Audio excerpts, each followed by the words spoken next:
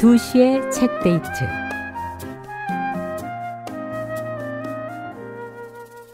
안녕하세요. 2시의 책 데이트 맹경순입니다. 강아지 좋아하세요?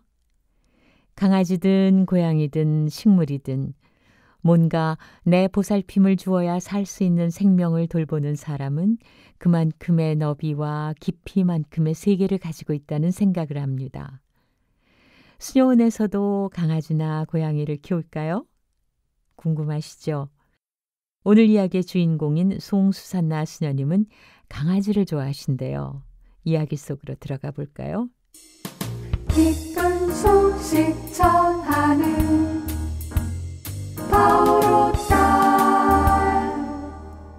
벌써 40년이 넘었네요. 1983년 봄, 저는 전주 분원으로 소임 이동되었습니다. 많지 않은 짐을 화물로 보내고 고속버스로 전주로 내려갈 때 제가 가져간 것은 태어난 지 한 달 된 강아지였습니다. 원래 개를 좋아하던 저에게 누군가 선물해준 예쁜 강아지였어요. 하얀 털이 복실거리는 정말 사랑스런 강아지였습니다. 사랑과 정성을 다해 돌봐주었지만 강아지는 늘 건강하지 못했습니다. 동물병원에 데려가서 알게 된 것은 이 강아지 엄마가 쥐약을 먹고 위중한 상태에서 나았기 때문이라는 것이었어요. 동물병원을 다니면서 치료하고 정성을 쏟았지만 강아지는 얼마 살지 못하고 결국 하늘나라로 갔습니다. 그런 지 몇 달 후에 동물병원 의사 선생님 부부가 깨끗한 정장 차림으로 저를 만나러 서원에 오셨습니다. 갑작스런 방문도 놀라웠지만 의사 선생님이 하신 말씀은 저를 크게 감동시켰습니다.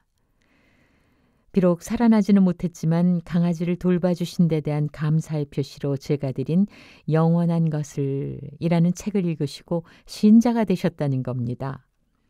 성당에서 세례를 받았기에 인사를 드리러 오셨다는 것이었어요. 신앙이 없던 분을 책을 통해 당신의 자녀로 불러주신 주님은 찬미 받으소서. 아멘.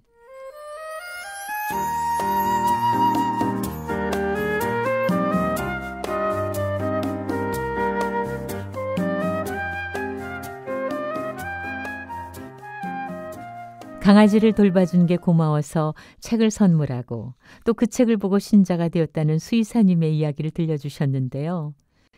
저는 사실 책도 책이지만 그 책을 누가 권해주었는지도 크게 작용하지 않았을까 생각해요. 병약한 강아지 한 마리를 살려보려고 온 정성을 쏟았을 수녀님의 모습을 보면서 느끼는 바도 있지 않았을까요?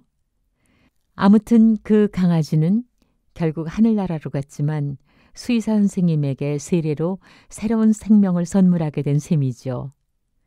나가이 다카시의 영원한 것을 저도 오늘 다시 읽어보고 싶어졌습니다.